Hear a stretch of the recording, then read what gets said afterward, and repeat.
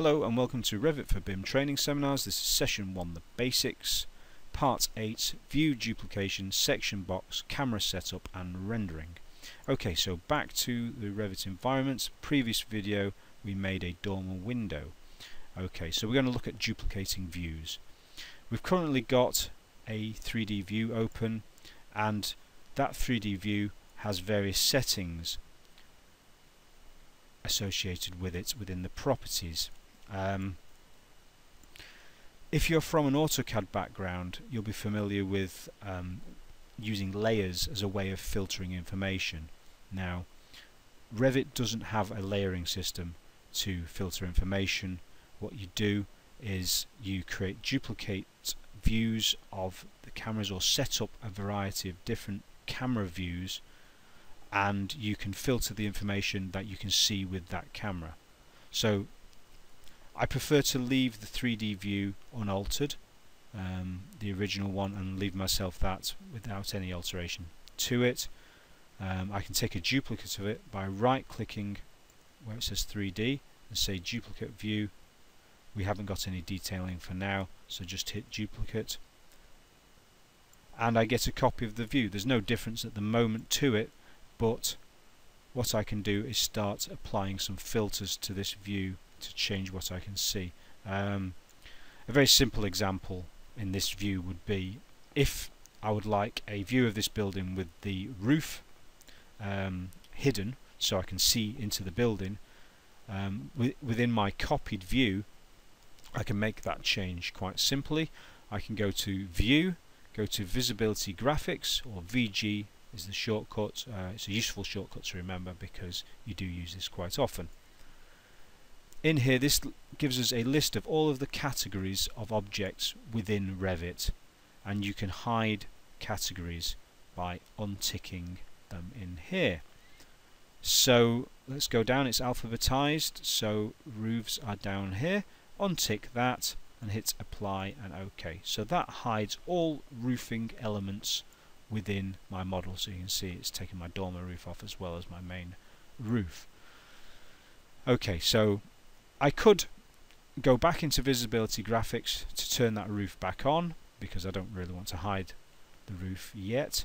But a quick way to get that roof back is to click on this light bulb down here on the bottom row that says reveal hidden elements.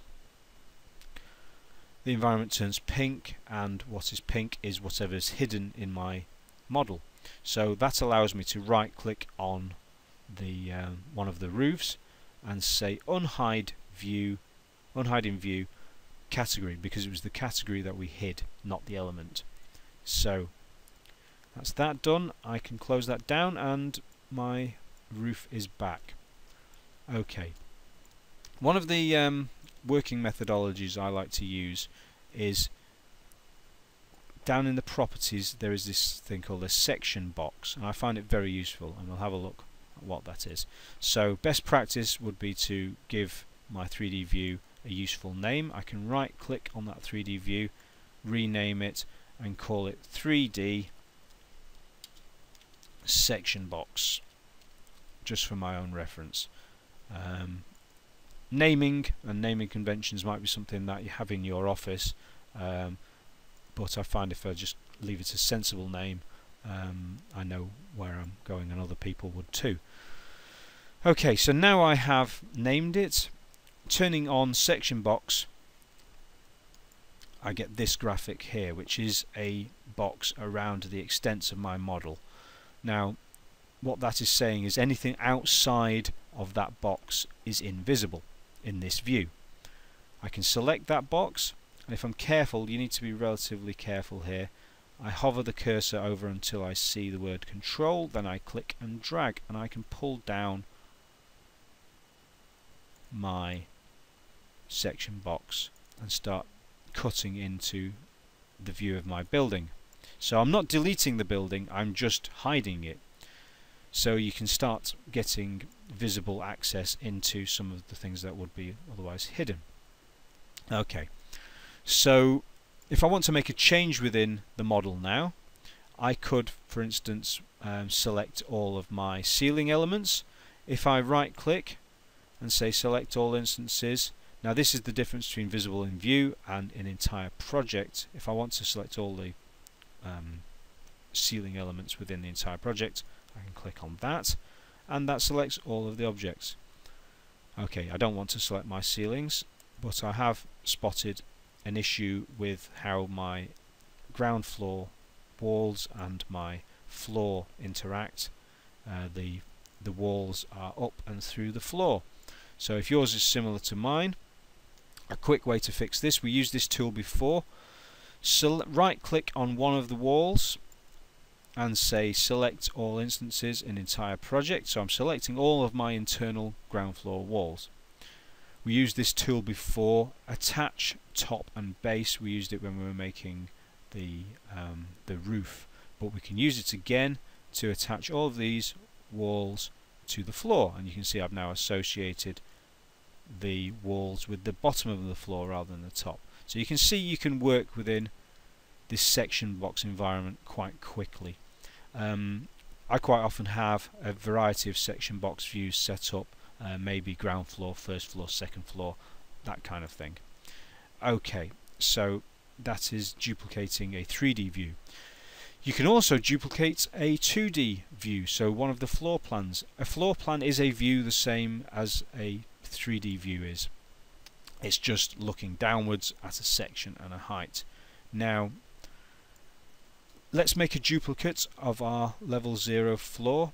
Again, best practice is to leave the original unaltered.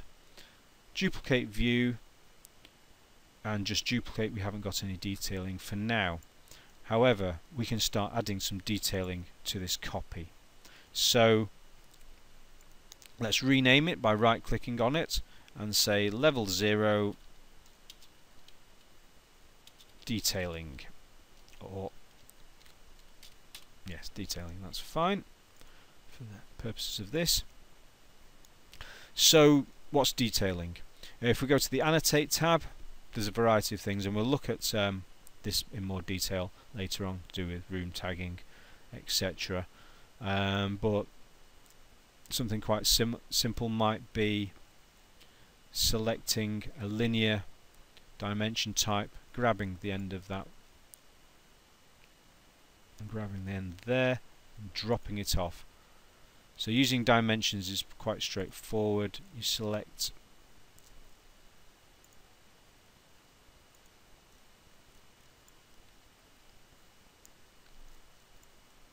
sorry I should have been using my aligned dimension tool there not my linear dimension tool. Now this is a thing. My align dimension tool is wanting to find the wall center line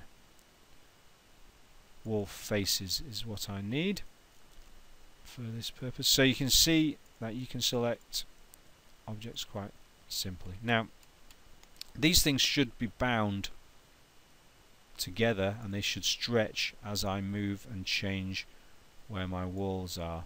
I can drag them around by just clicking and dragging with the left mouse button. So you can see that I can make changes and modify things quite easily here and the dimensions stay associated. Um, I could put some text on here just going to randomly type some text so if I was to put this on a plan, these this detailing elements would show up.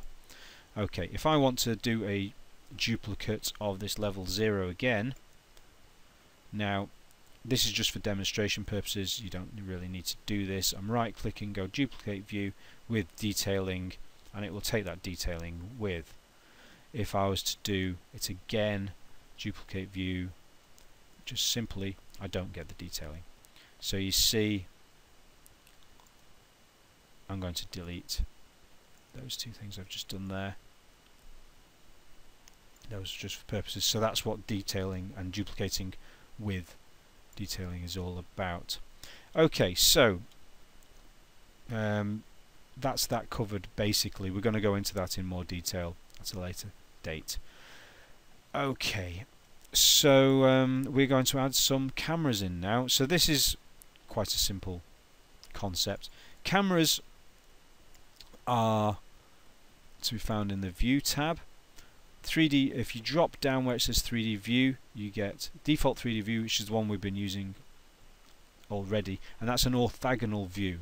And the difference between a camera view and a 3D view, uh, an orthogonal view is you can work quite freely within a 3D orthogonal view. But if you set up a camera view, it's a perspective view, and you can select things within the view, but you can't really make a lot of changes. So we're going to use that though. So at the moment we're on level 0. Click on camera and you can see the first thing is it's a perspective and it's offset at 1.75 meters above level 0 so that's where I'm placing my camera um, you can see down on the command line click to place the eye position of the cursor location so 1.75 is the eye the eye height of a six foot tall person um, so or there there and thereabouts and it's quite a nice place to start so I'm going to get a 3D view of the front of the building where the doors and the windows are. So you can see the the view width and the distance. The second click is where the target of the camera is going to look at, and um, that's usually relatively arbitrary. Um, you can just land it wherever you like. I could land it there and I'd get the same as that really.